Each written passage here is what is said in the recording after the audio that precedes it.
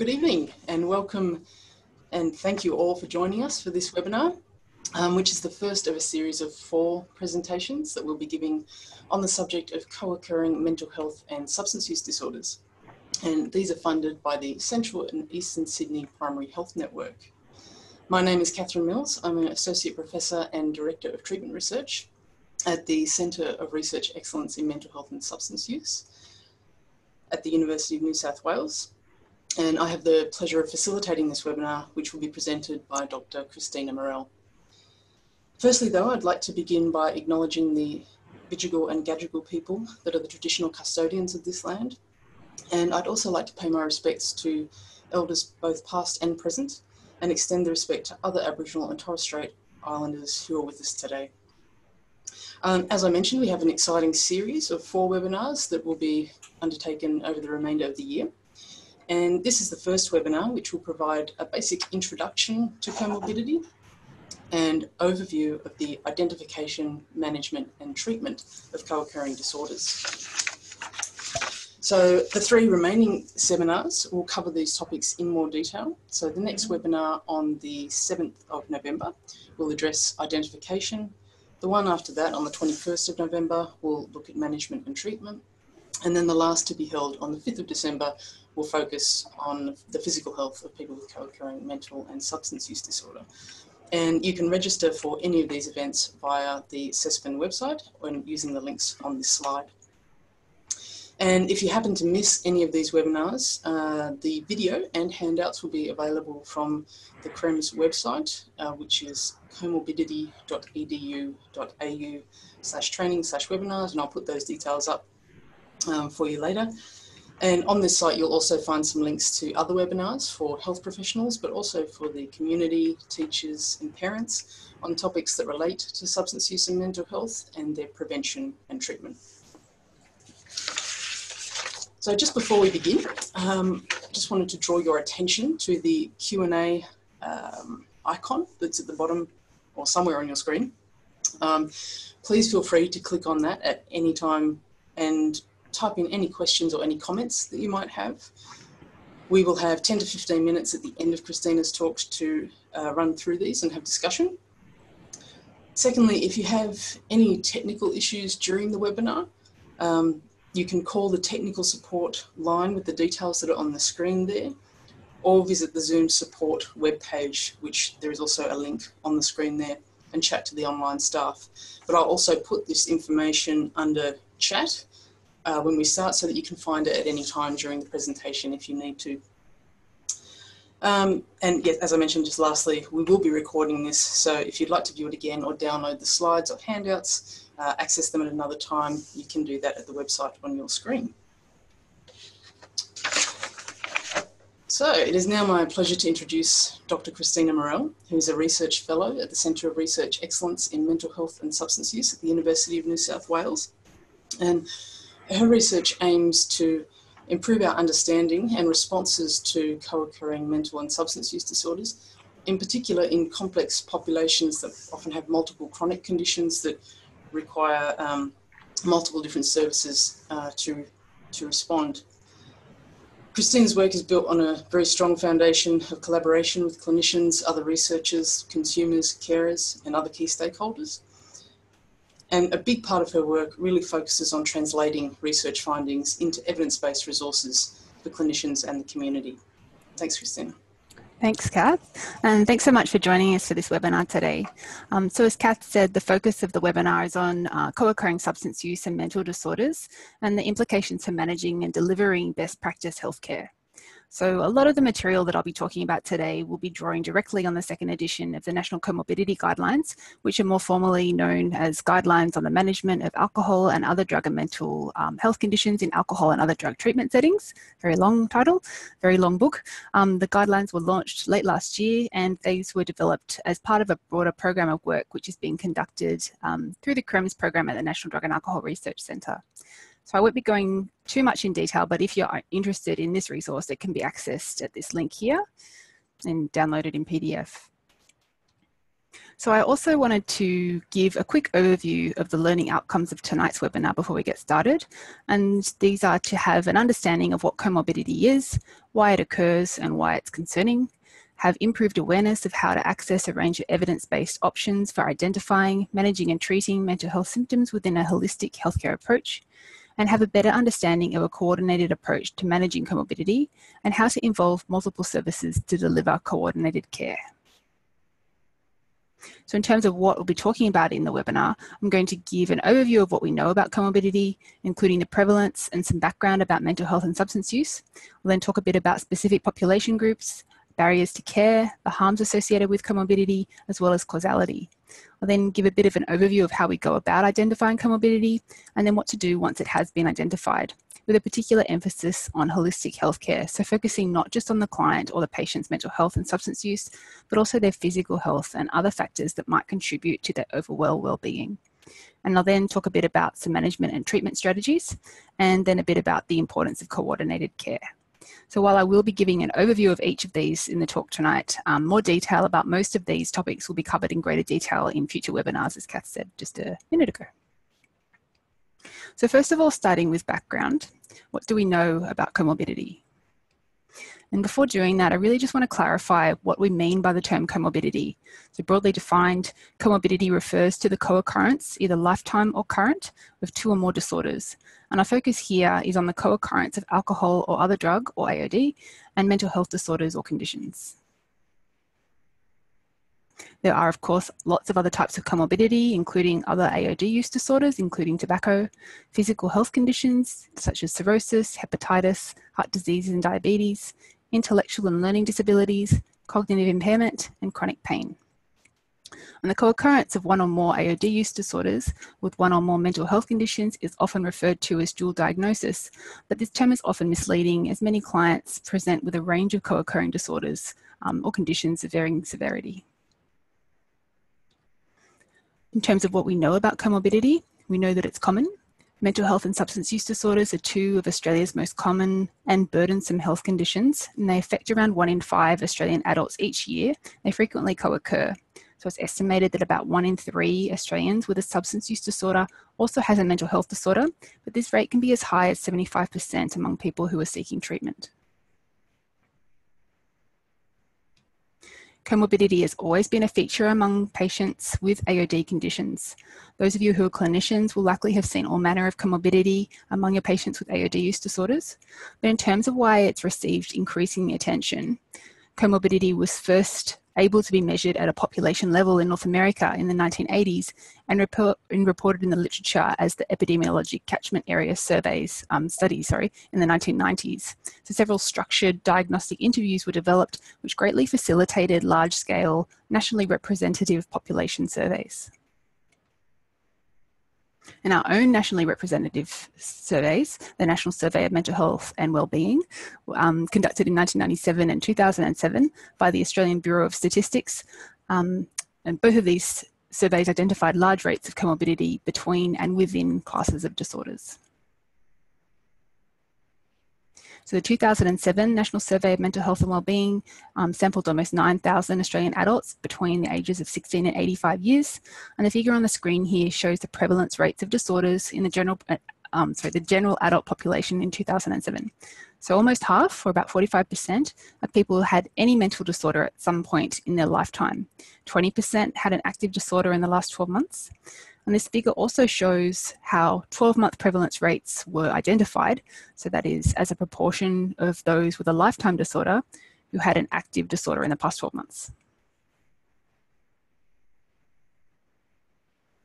Approximately 35% of people with a substance use disorder have at least one co occurring affective or anxiety disorder, and this represents about 300,000 Australian adults.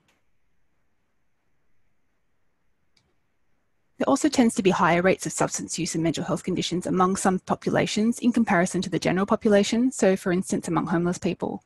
Researchers highlighted the complex AOD use histories and extensive polydrug use um, in homeless populations, with one study finding that 42% of participants reported severe levels of depression and 57% screened positive for current post traumatic stress disorder or PTSD more than one third had received a lifetime diagnosis of schizophrenia or another psychotic disorder. Rates of AOD use and mental health disorders are also elevated among prison populations. The most recent Mental Health um, of Prison Entrants in Australia report, which is conducted by the Australian Institute of Health and Welfare, found that a third of prison entrants reported having received a formal mental health or substance use diagnosis, which is two and a half times higher, two and a half times higher than the general population. So 16% were taking medication for their mental health disorder, and 14% were experiencing very high levels of psychological distress. In, in comparison with other prison entrants, those with poor mental health had more extensive prison histories, poorer education, higher rates of unemployment, and substance use. There were also higher rates of risky alcohol, illicit drug use, and smoking than in the general population, particularly among those with high levels of psychological distress. And of course, these are just some of the different population groups who experience high rates of substance use and mental health conditions. There are many others. In terms of the most common mental health conditions that we see to co-occur with substance use disorders, these are typically the same as those that we see in the general population, um, which are anxiety and depression, post-traumatic stress disorder and personality disorders. And we also see elevated rates of bipolar disorder, psychosis, attention deficit hyperactivity disorder, obsessive compulsive disorder, and eating disorders. And then the fact that these disorders co-occur is problematic because once they're established, each serves to maintain and exacerbate the other. There are also many people who experience symptoms of disorders but don't necessarily meet the, the criteria for a diagnosis of a disorder. This means that many people can still have their lives significantly disrupted by symptoms of their mental health disorders, but without meeting the diagnostic criteria, they tend to fly under the radar of some services. So rather than thinking of mental health as merely the presence or the absence of a disorder, it can be quite useful to think of mental health conditions existing on a continuum ranging from mild symptoms such as mild depression to severe disorders such as schizophrenia or psychotic suicidal depression on the other end. Um, so with the development of newer versions of classification systems such as the DSM-5 and the ICD-11, there's been a move towards more dimensional rather than categorical view of disorders. The prevalence of mental health disorders may vary between substances, but there's been little research conducted which compares the rates of mental health disorders across different types of AOD use disorders. So there's not a lot of information available that can help guide health practitioners in this sense. Um, substance use among people with mental health dis disorders tends to mirror the general population trends in terms of availability and fashion. In the general population, the most commonly used substances are uh, alcohol and tobacco, with a much smaller proportion in, of the population using illicit substances. And of the illicit substances, the most commonly used are general, uh, cannabis, followed by um, a smaller proportion who use methamphetamines, ecstasy, cocaine, hallucinogens, inhalants, heroin, synthetic cannabinoids, ketamine, new and emerging psychoactive substances, and GHB. And again, small proportions use non-prescription pharmaceuticals, including analgesics, tranquilizers, steroids, methadone or buprenorphine, and other opiates. But when do we need to become concerned about a person's use? Do we need to respond to any use, or is it really only when a person is dependent on substances that we need to be thinking about intervention? Not everybody who uses will become dependent. The evidence indicates that um, the most addictive substance is tobacco, with up to an estimated two thirds of people going on to, depend, um, to develop dependence after using it. And this is then followed by cocaine, heroin, alcohol, and cannabis, with up to a fifth of users developing dependence. But it's really important to note that while many people drink or use at high levels without meeting the criteria for a disorder, they may nonetheless be risk of harm, at risk of harm. So I won't um, go into detail about the characteristics of people who are at risk of becoming dependent, but I would like to launch a poll here and ask you all who you think that of the people pictured in this slide um, is more likely to um, develop or have a substance use disorder. So I'll just give you a minute to have a look at that. And do you think it is likely to be, or more likely to be person one, person two, person three, person four, person five or person six.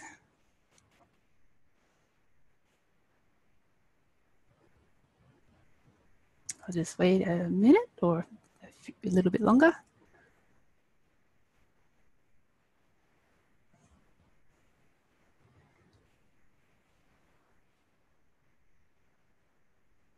Okay.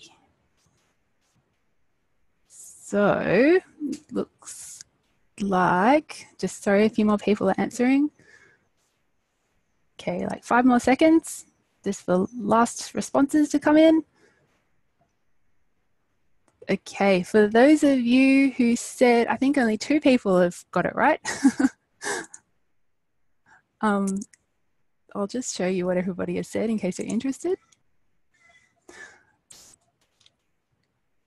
So for those of you who said um, person number five, statistically speaking, you're right. The um, young man in the suit is more likely to have a substance use disorder. So it's really important to remember that anybody can develop a substance uh, or can develop a disorder, having said that. And also really want to make a brief mention that there's often a lack of recognition of substance use and mental health disorders because of assumptions about um, what a person with these disorders might look like.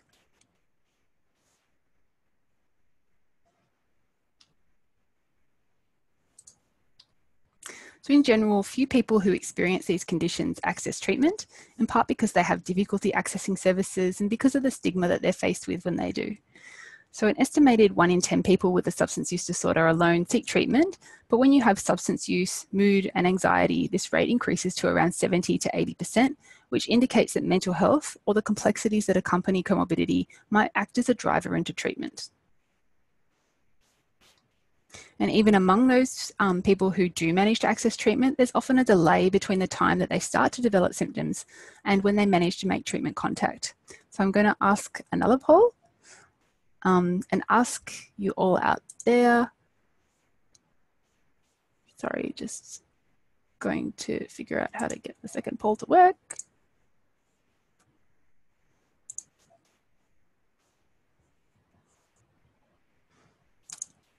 Okay, so ask you, um, have a guess at what the average length in which it takes the one in three Australians with an alcohol use disorder to seek treatment. So do you think it's six months, 12 months, three years, five years, 10 years, 15 years, 18 years, or 20 years? Um, so there's a lot of different options there. Um, have your best guess.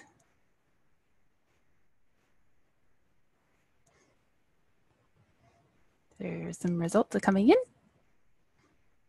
quite a big difference between six months and 20 years, I know.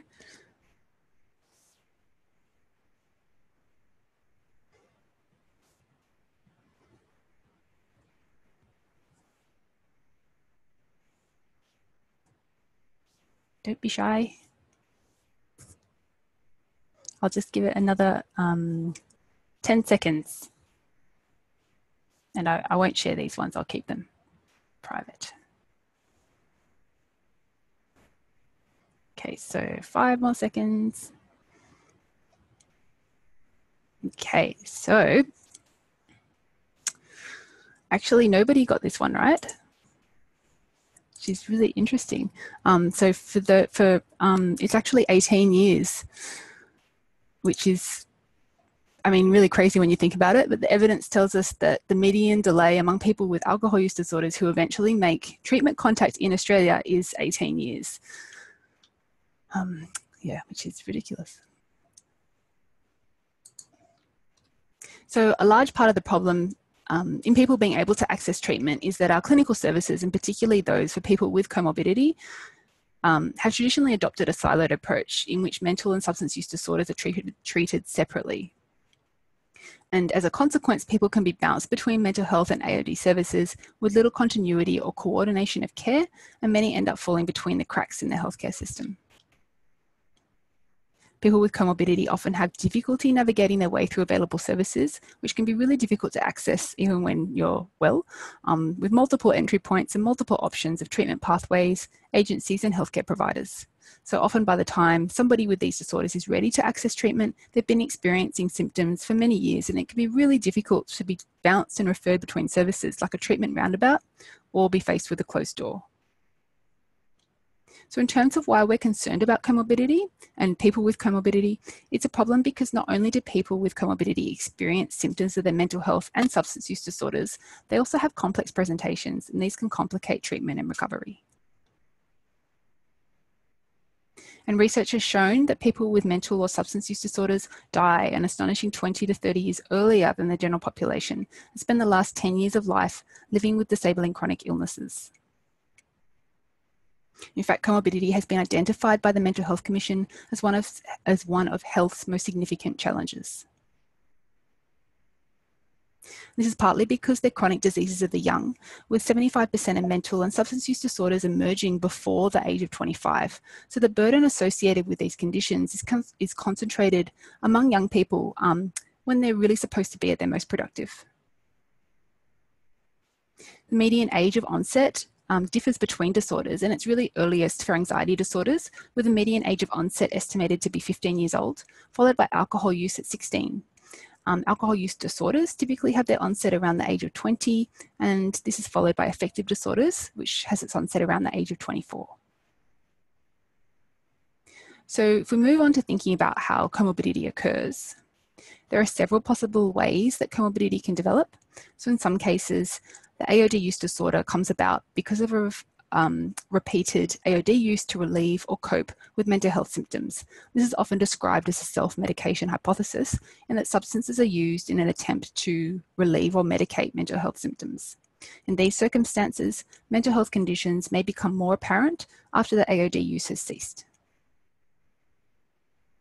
Alternatively, AOD intoxication and withdrawal can induce a variety of mental health symptoms and disorders, such as depression, bipolar, anxiety, obsessive compulsive, and psychotic disorders.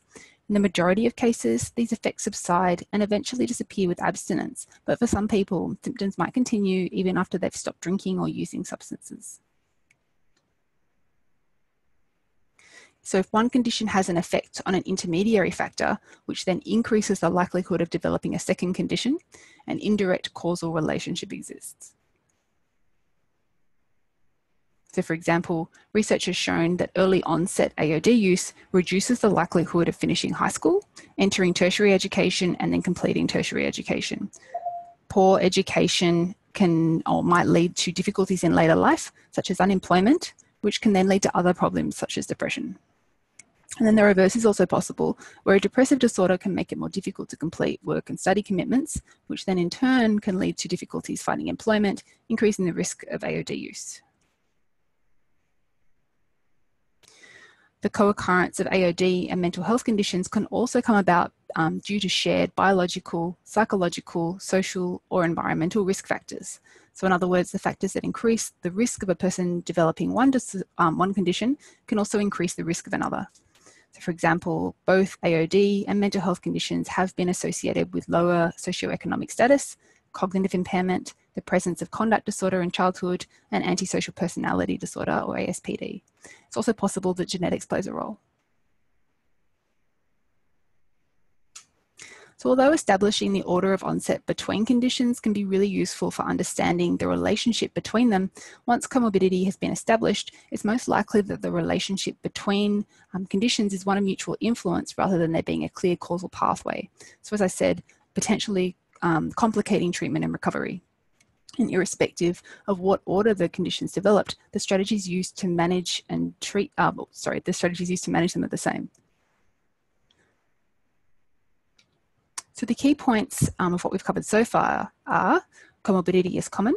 This can complicate treat, a person's treatment and recovery. Once comorbidity has been established, it's most likely the relationship between disorders is one of mutual influence. And irrespective of what order comorbidity has, has developed or the comorbid conditions has developed, the strategies used to manage these conditions is the same. And a number of barriers make it difficult for people with comorbidity to receive effective treatment. So I'll move on to the next topic of our webinar, which is how can we identify comorbidity? So in talking through the next few sections, I'd just like to introduce you to Layla. Layla is a 30-year-old um, female who was feeling pretty good, but had some trouble sleeping. So she went to her GP to get her mum off her back. She was employed as a full-time bank teller. She grew up in a really happy family, and um, she thinks of herself as a life of the party. Her mum was quite concerned and wanting her to see somebody following her recent Layla's recent arrest in the middle of the city. So she'd consumed um, quite a lot of alcohol and started to strip in a supermarket. She's also been increasingly distracted and irritable at work and spending excessively on her credit card.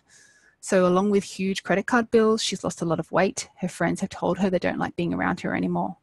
But Layla has felt amazing and doesn't see that anything is wrong. Although Layla has been working intermittently, it's only because her boss is a family friend that she's been able to hang on to her job. And of course, this is just one way in which a person with comorbidity might present to services. There are many different presentations. But if somebody with Layla's presentation attends a service, what are the next steps? So how is her comorbidity identified? In general, the identification can be really tricky because despite high rates of mental health conditions, the detection and treatment of these coexisting problems is quite low. That's why it's very important to screen um, all clients systematically as part of routine clinical care as part of case formulation process. Awareness of co-occurring problems will assist with the management of more complex presentations and treatment process and sorry treatment planning. But of course, to um, identify problems accurately, there might be a need to involve professionals that are trained and experienced in differential diagnosis. The screening can help identify the potential need for more formal psychiatric assessment. multiple assessments conducted throughout treatment can take into account changes in symptoms over time and then be fed back into the treatment process. Three elements that can be helpful in identifying comorbidity, and that these I'll go through today, including include screening, assessment, and case formulation. Screening is the process of identifying possible cases of co-occurring mental health conditions. It's not diagnostic, it can't establish whether the diagnosis exists, but it can be really useful in identifying symptoms which are typical of a disorder and highlighting the need for further assessment. Ideally, screening should occur after a two to four week stabilization period, but in practice, um, this can be very difficult within treatment settings for somebody to achieve this. So um, workers really need to be aware of the potential for false positives, which can occur if clients or patients are screened during periods of acute intoxication or withdrawal. And to avoid the possibility of misdiagnosis or false positives, multiple assessments should be conducted over time. Some mental health instruments that workers might find useful include the Camberwell Assessment of Need Short Appraisal Schedule or the CANSAS, the Kessler Psychological Distress Scale or the K10, and the Depression Anxiety Stress Scale or the DASS. Some alcohol and other drug use instruments that might be useful um, include the CAGE questionnaire, which assesses problem drinking, the Michigan Alcohol Screening Test, or the MAST, which assesses lifetime problems with alcohol use, the Drug Abuse Screening Test, the Alcohol Use Disorders Identification Test, and the Drug Use Disorders Identification Test. All of these tools are free to use, and you can access the CANSAS P, the K10, and the DASS 21, as well as their scores in the comorbidity guidelines that I mentioned before. And I've put a link um, to the PDF on these slides, and you'll be able to actually click on the link and action those uh, at the end if you um, download these slides as a handout. I'll give you the link to do that later as well. But of course, um, these screeners and these instruments are just a few examples of screening instruments. There are many, many more, some with and without costs, and some that require clinician training or other accreditations before you can use them. We will be talking more about screening and assessment in the next webinar, but additional screening tools are also located in the body and the appendix of the comorbidity guidelines, and these cover a broader range of conditions. Another resource that might be useful is Mark Deady's 2009 review of screening and assessment tools for use in AOD settings. And this includes a comprehensive overview of all screening and assessment measures, where these can be accessed, whether there's a cost involved in their use, details of their reliability and validity in AOD settings, and it's also um, sort of an overview of their strengths and limitations. And it's free to download from the NADA website, and I've put the hyperlink on this slide here.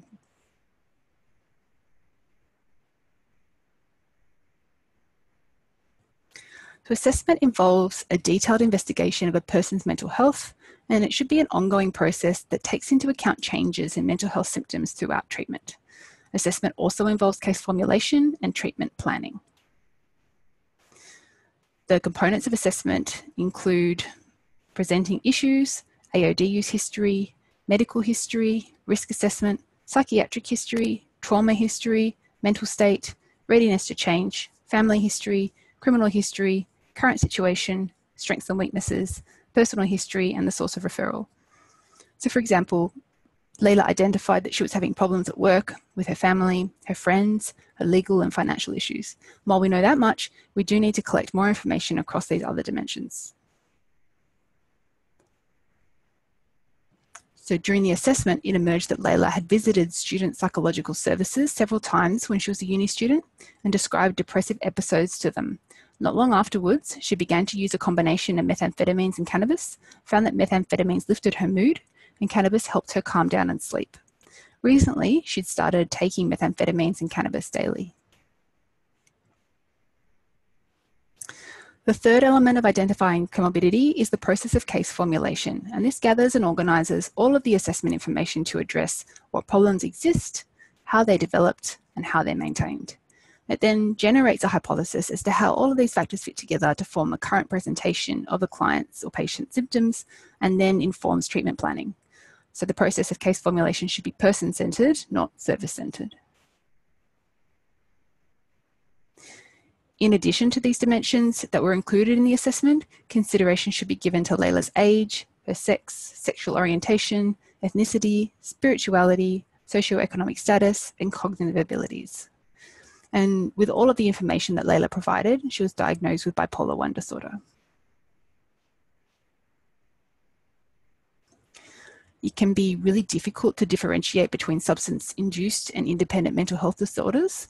Symptoms of mood, anxiety, and psychotic disorders might all be induced as a result of AOD use or withdrawal.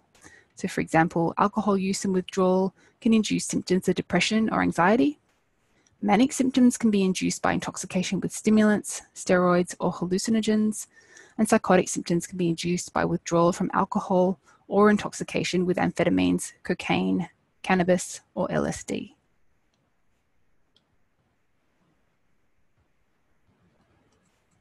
So it can be useful to ask whether the client has any current mental health symptoms such as depression, anxiety, or psychosis, whether they've experienced these in the past, and whether they've ever been diagnosed with a mental health disorder.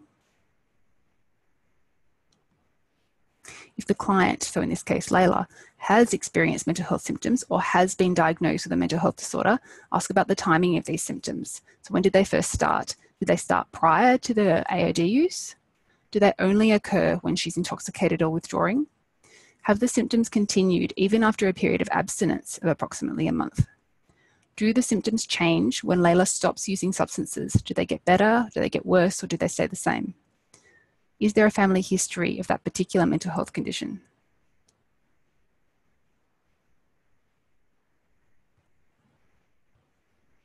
If symptoms occur only in the context of intoxication or withdrawal, it's likely that they're substance induced and will um, will resolve with a period of abstinence without the need for any direct intervention. But having said that, it's still really important to manage these symptoms to prevent her from relapsing. If um, mental health symptoms started before the onset of substance use, if they persist even during periods of abstinence, or if there's a family history of that particular mental health condition, they might have an independent mental health condition. So I'm going to ask another poll here.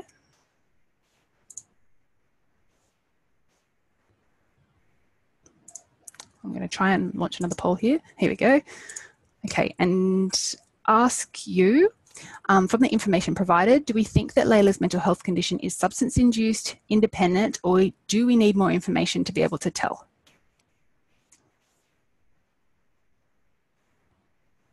So I'll just wish I had some waiting music to play. I won't sing. so I'll just wait um, another 10 or 15 seconds.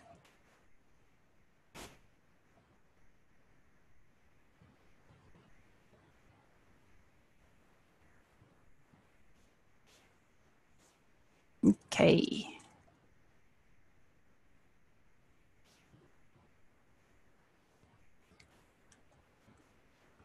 Great. Looks like most people have um, sent something in. So um, there seems to be a bit of a split between whether it's independent or we need more information. That's actually, they're both, I would say, both right. So from the information we have so far, it's more likely that it's independent. No, I know we have limited information. She began experiencing mental health symptoms before the onset of her AOD use. Um, but of course, we do need more information. So either of those, I would say, would be right. Well done, everyone. So in particular, it can be really difficult or it can be also really difficult to distinguish substance-induced psychosis from other psychotic disorders. So if a person is experiencing symptoms of psychosis, it might not be possible to elicit information that could help assess with the onset of symptoms like their family history, their AOD use and so on. But some substance-induced symptoms can help differentiate between substance-induced psychosis and independent psychotic disorders.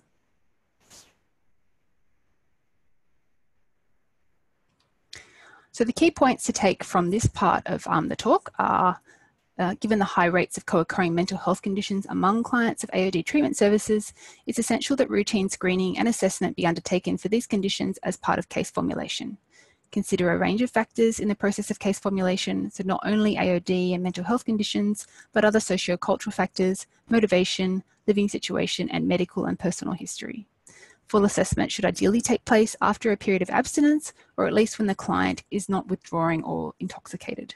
Conduct multiple assessments throughout treatment as symptoms may change over time. And provide assessment feedback to the client in a positive, easily understood way. Once comorbidity has been identified, we need to think about the next steps. Um, so this would be to formulate a plan in consultation with Layla and her family or carers or friends if appropriate. So the comorbidity guidelines, which I've mentioned at the beginning and throughout this talk, provide evidence-based management and treatment strategies, and I'll refer to them a little bit in this next section. So when developing a plan, the guidelines really emphasize taking a holistic healthcare approach, and this is focused on treating the person and not their illness. So given the complex problems which, which are experienced by people with comorbidity, the goal of any service should be to improve quality of life across all domains, so including health, social welfare and housing, employment, criminal justice, and of course, AOD and mental health. This is particularly important as people with comorbidity are at particular risk of developing cardiovascular disease due to high rates of smoking, overweight and obesity, diabetes, poor diet, physical inactivity, high rates of alcohol consumption, um, and the use of some antipsychotic medications. So research has highlighted the need for interventions that focus on overall well-being, including reducing smoking, improving dietary habits, increasing physical activity, and improving sleep patterns. So from a health worker's perspective, remembering that physical and mental health are fundamentally entwined and focusing on overall well-being by providing a holistic response is likely to lead to improved outcomes. And just to point out as well, as Kath mentioned before, we'll be talking more about managing the physical health of people with comorbidity in a future webinar. Some service providers are reluctant to address multiple health provide, um, sorry, multiple health behaviours because of the belief that making too many lifestyle changes might undermine a person's recovery. Um, so although this is particularly evident in relation to smoking cessation, the view is not really supported by the evidence. So some strategies that can help healthcare workers overcome some of the barriers associated with these behavioural changes include helping clients minimise the physiological symptoms of nicotine withdrawal with nicotine replacement therapy or NRT, being mindful of different doses, the potential for NRT to interact with the metabolism of different medications, and also contradictions for NRT. Using the Australian dietary guidelines to help clients develop healthy eating patterns or the food spending structure, and this links household budgets to different food groups the food and activity diary, and other devices that tracked physical activity, such as pedometers, heart rate monitors, and fitness trackers as motivational tools, as well as healthy sleep habits. So the broad focus of a holistic approach is really centered on delivering the right services to the right person at the right time. And this means that healthcare workers' roles include involving multiple services in a coordinated client-centered approach. This also means that healthcare workers should be prepared to not only address mental and physical well-being of their clients, but also involve and partner with other services that can provide complete individualized care. So we're developing a plan. It's really um, essential to work with Layla and consider her as a whole person. So taking into account her, um, her psychological, her physical and socio-demographic perspectives. So before I go into detail about management and treatment approaches, I just wanted to touch on models of care in terms of approaches to comorbidity, there are four main models in the treatment of comorbidity, which are sequential treatment, parallel treatment, integrated treatment, and stepped care. I won't go into too much detail about these, but it's worth noting um, there's often a lot of discussion about models of care for people with comorbidity, but there's little research available to determine which models are better suited to which comorbidities. Um, and healthcare workers might need to make pragmatic decisions about which model is most appropriate for their individual clients or patients. Having said that, the idea of integrated treatments for two disorders has considerable intuitive appeal, intuitive appeal and presents a number of advantages over other treatment approaches, including a single point of contact so the client or the patient doesn't fall through the gaps. There are common objectives. The treatment is internally consistent. The relationship between AOD use and mental health conditions can be explored. And the communication problems between agencies doesn't interfere with treatment. So although research is quite limited in this space, there is some emerging evidence to suggest that integrated treatments might be superior to parallel or sequential treatments in terms of improving outcomes. we will be talking more about management and treatment of comorbidity again at a future webinar um, and in more detail. But there is a distinction between management and treatment in that the goal of management is um, an interim approach and provides short-term relief of symptoms until full treatment is possible. Management strategies described in the guidelines provide short-term relief and, um, and control over symptoms. The guidelines provide do's and don'ts and practical strategies for managing commonly co-occurring conditions. Managing symptoms um, can be quite tricky though, because once disorders are established, they both serve to maintain and exacerbate each other, whereby changes or improvements in one condition often leads to changes in the other. So there are a range of options for managing and treating comorbidity, and of course not all treatments will suit everyone. Although many people are likely to be um, familiar with the more tr traditional psychological and pharmacological approaches, these have quite limited evidence for comorbidity, and in the absence of specific research, it's generally recommended to use the most effective treatments for each disorder. So both psychological and pharmacological interventions have been found to have some benefit. When pharmacotherapy is used, should be accompanied by supportive psychological interventions with workers aware of the potential interactions between medications and other substances. In addition to these approaches, um, in the second edition of the guidelines, we have a discussion of e-health interventions, physical activity, and complementary and alternative therapies. For most disorders, exercise and physical health interventions have been shown to have some benefit. So, for example, with uh, ADHD, schizophrenia, bipolar, depression, anxiety, OCD, PTSD, and eating disorders, but more research on comorbidity is really needed. So I won't um, go into too much detail here, but um, as I mentioned, the comorbidity guidelines um, discusses the evidence regarding the treatment of disorders for ADHD, psychosis, bipolar, depression, anxiety, uh, OCD, PTSD, eating disorders, and personality disorders. And in addition, the management of symptoms that may cross various disorders like anger, grief, and loss are provided. And as I said, we'll go into more detail about these if you're interested in um, I think it's the not the next webinar, but the one after. So Layla and her treatment team decided on a combination of psychotherapy and pharmacotherapy of antidepressants and mood stabilizers. At first, she had a lot of difficulty adjusting to her new medication regime, and her compliance was really poor or quite poor.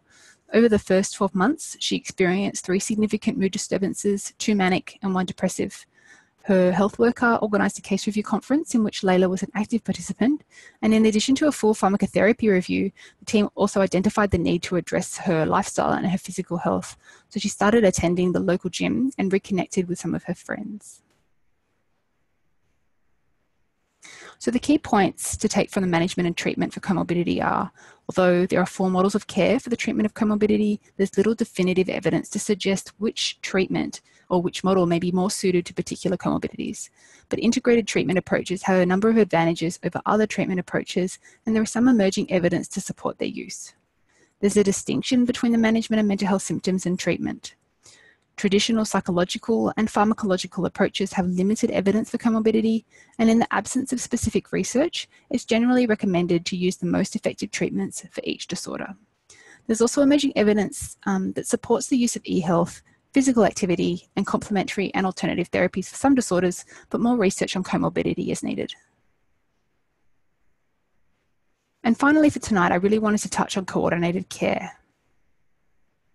So as many of you know, people with comorbidity often present to treatment with various issues that need to be addressed throughout the course of treatment.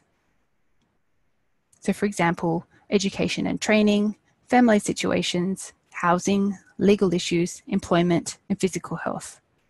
So we really highlight the importance of health services and workers developing links with a range of local services and engaging them in clients or patients' treatment where it's appropriate.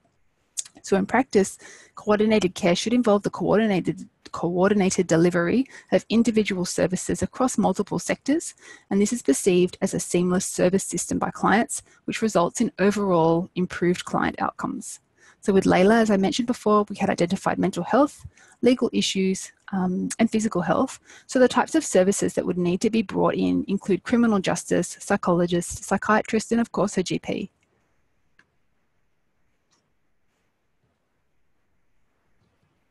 So I showed this image earlier in the webinar when I talked about some of the barriers clients and patients face when they're presenting to services, and this represents how clinical services have traditionally adopted a siloed approach in which mental and substance use disorders are treated separately, limiting treatment effectiveness. It is therefore really critical for care coordination and the referral process to focus on linking clients in with services as smoothly as possible. So the development of formal links between services regarding consultation, referral pathways, and collaboration can help this process. And in fact, coordinated care increases the likelihood that clients will receive specialised assistance where it's needed, facilitates client engagement in treatment. Evidence has linked coordinated care um, with improved treatment outcomes, and it's been found to prolong client retention, increase treatment satisfaction, improve quality of life, and increase the use of community-based services. In terms of a health worker role in coordinated care, this can involve the coordination, um, management and delivery of appropriate services. And the challenge is in the active engagement of multiple services and service providers with a mixture of professional and non-professional support. And also working out whose responsibility it is to coordinate care. So while primary, primary health care workers are in ideal positions to coordinate care and incorporate services that best reflect their client and patient's individual needs, um, they're often really time poor.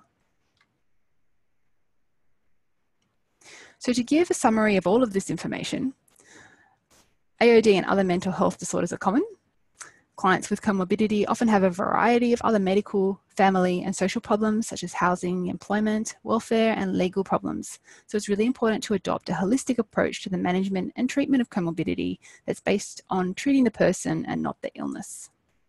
In addition to mental health services, health workers may need to engage with a range of other services to meet client and patient needs, including housing, employment, education, training, community, justice, and other support services.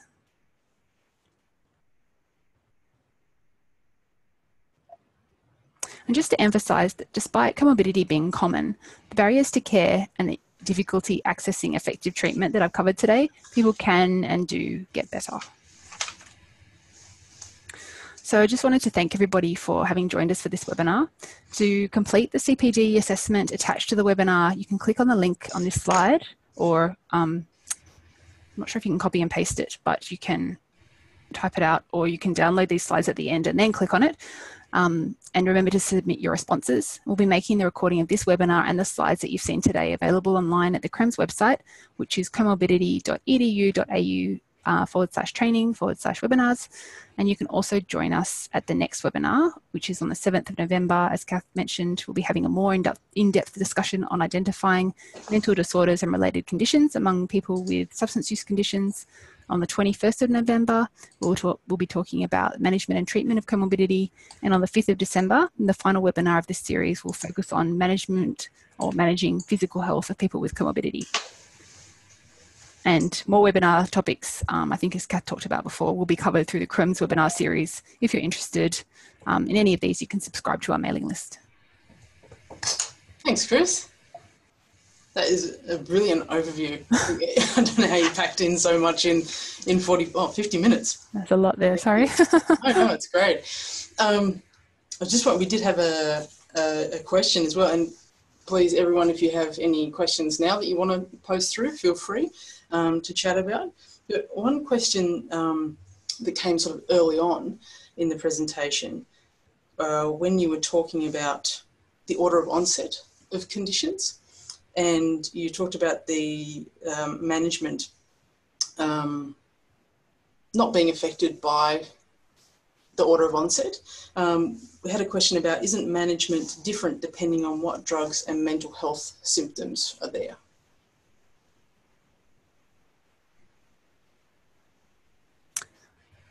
Um, sorry, can you say that again? Yeah, sure. Sorry, I've probably confused you actually by my question. Um, isn't management different depending on what drugs and mental health symptoms are present? So different drugs used. So I think it's uh, probably, I guess, what I was thinking um, was that that's absolutely right and, and a really good point that that you are managing different symptoms depending on what drugs are being used uh, and what mental health symptoms are present, but it does depend on um, but sorry, the order in which they present doesn't change. So whether or not the substance use came before the depression or the anxiety came after substance use, that doesn't change. Is that is that right? Yes.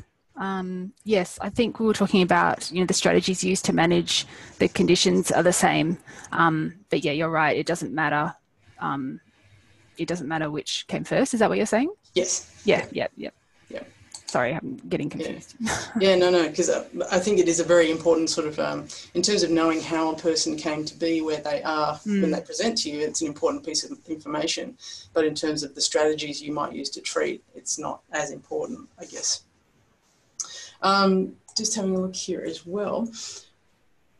I was wondering, or one of the questions, if you might want to talk a bit about the e-health interventions that um, you mentioned. Are they interventions that are sort of standalone, or are they ones that um, clinicians can use with their clients? Uh, I think there's a, a, bit of a range, and I think actually, Kathy, you can talk about some of the ones that you've been involved with um, one of the local health districts. Um, but I think there's a range and the evidence is quite varied. Some of them are, you know, self-complete that people can go through on their own. Um, and the place that you can look for that kind of information is CRUfAD um, for their anxiety. Uh, actually, their mood clinic, Mood Online, I think it's called now. Used to be Anxiety Online, now I think it's called Mood Online, and they've got a range of different um, e-health um, programs that you can go through. And I'm not sure whether they're um, I'm not sure whether you need a clinician to go through as well. Putting me on the spot. Um, I know that's right. uh, other ones that um, maybe you could talk about, Katha, Deal and Shade. Um, yeah, so um, I, I, totally agree with what you're saying that there are a combination. That there are some that people mm. can do on their own, and some people prefer to do on their own because, um, especially those people where they don't actually want to seek clinician assistance but do want some sort of intervention where they don't have to interact.